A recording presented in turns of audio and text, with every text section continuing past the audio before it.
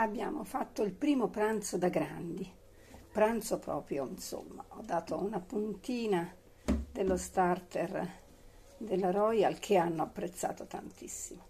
Adesso la mamma, perché non si fida giustamente delle mie doti culinarie, va a controllare, va a vedere, secondo me. Diciamo, questa già non sa cucinare per umani, figurati quando fa le pappe per i piccoli. È brava soltanto con le crocchette. Eh?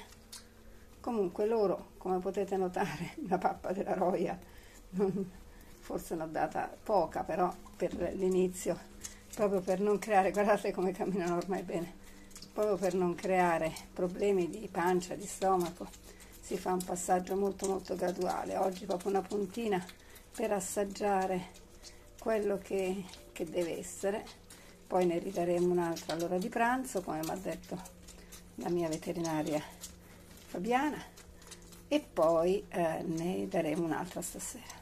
Poi pian piano si aumentano le dosi e si aumenta anche il tempo come cosa. Eh, Dulcinea ci è rimasta molto molto male, guarda c'è chi non riesce a trovare posto, non riesco a trovare una tetta, datemi una tetta e vi solleverò il mondo. L'ha trovata? No, non l'ha ancora trovata. Allora, adesso vi lascio che l'aiuto a trovare la tetta. Arrivederci a tutti. Ha trovato da sola, mi sa, eh? No, non ancora. Sì, sì, ha trovato, ha trovato. No, vado a trovargli la tetta. Arrivederci a dopo.